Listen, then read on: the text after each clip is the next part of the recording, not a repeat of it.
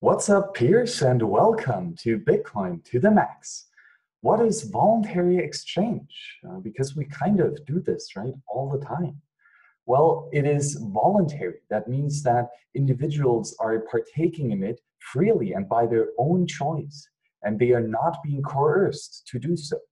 And it's exchange because uh, two parties interact with each others, two peers interact with each others. And uh, let's assume that there is Alice uh, who really, you know, she likes apples. Uh, they are quite nice to her, and she has a couple in her pocket. Uh, of course, she sometimes eats one of these apples to uh, satisfy her hunger, to remove the uneasiness of being not nurtured. And then uh, she would, though, like to have some more tropical fruit, uh, for example, bananas. so, on her individual preference scale, she values bananas higher than she does value apples. And however, uh, there is then on the other side of the island, there's Bob. And Bob is a, a tropical farmer. He really has a bunch of bananas and uh, he likes them, right? Uh, he has produced them and now he can consume them and again eat it and uh, satiate his hunger. However, on his individual preference scale, uh, he prefers apples to bananas. Uh, so clearly, uh, Alice and Bob here have uh, two different preference scales. Alice prefers bananas and Bob prefers apples. Uh, so what they could do is they could interact and uh, trade uh, so that Alice will give her apples to Bob, which he clearly likes more, and Bob will give his bananas to Alice, which he prefers.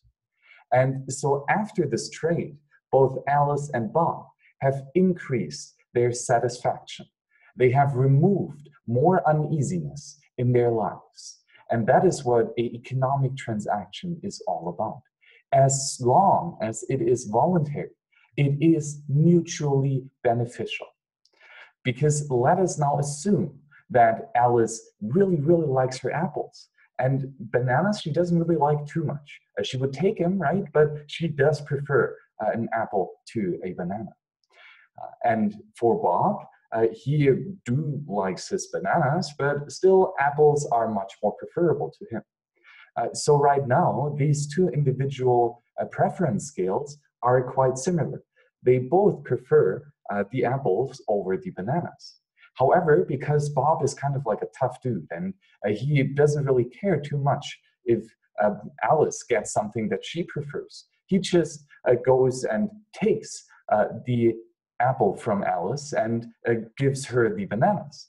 Uh, clearly, for Bob, this is quite beneficial because now he has received the apples, which he does prefer much more than the bananas.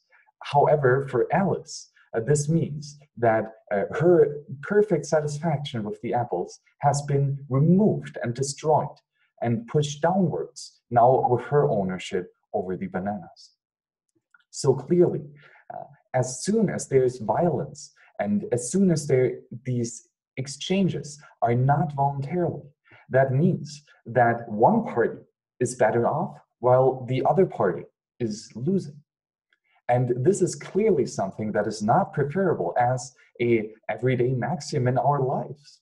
Uh, because we can have something that is much more fruitful for everyone. And that is living peacefully and relying on voluntary exchange always. Uh, because as we clearly saw, as soon as this interaction is voluntary, these two individual peers have proven that they do prefer their now current state after the transaction much more than they their prior state before the interaction. So we can conclude from an economic and from a moral aspect voluntary interchange uh, is much preferable to forceful and coerced interaction. peers, it's been a pleasure talking to you here on the Bitcoin to the Max show, which is a Patreon early bird show. Uh, so the gracious patrons and supporters of the World Crypto Network, either on the Tallycoin slash Hillebrand Max or slash World Crypto Net or slash Mad Bitcoins, or the amazing uh, supporters over at patreon.com slash WCN get one week prior access uh, to these videos as a, a token of gratitude, not a token of ICO, uh, that we here at the World Crypto Network uh, share with you because you are so, such a gracious supporters of this network. Thank you very much and see you on the next show.